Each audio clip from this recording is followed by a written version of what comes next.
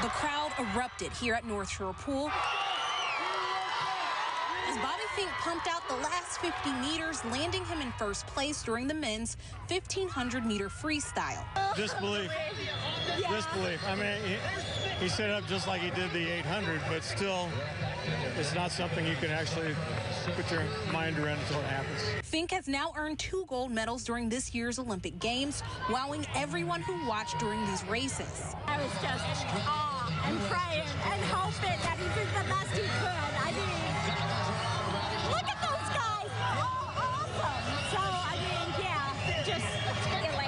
Bobby's parents credit Fred Lewis, director over the swim program here at North Shore Pool, for helping him nurture his swimming abilities. But the man is awesome. What he has done for our family is just incredible. They also thank the St. Pete community for coming out and supporting him. I can't, uh, I can't thank these people enough. All of these, I don't know three fourths of these people, you know, but they came out to watch Bobby.